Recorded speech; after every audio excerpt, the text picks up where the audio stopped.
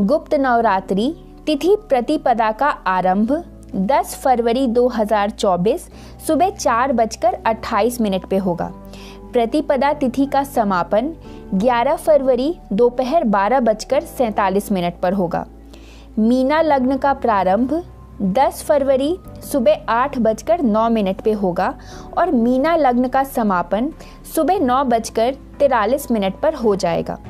घट स्थापना का शुभ मुहूर्त 10 फरवरी की सुबह आठ बजकर नौ बजे से नौ बजकर तैतालीस मिनट तक रहेगा। घट स्थापना अभिजीत मुहूर्त 10 फरवरी सुबह ग्यारह बजकर अड़तीस मिनट से दोपहर बारह बजकर चौबीस मिनट तक रहेगा।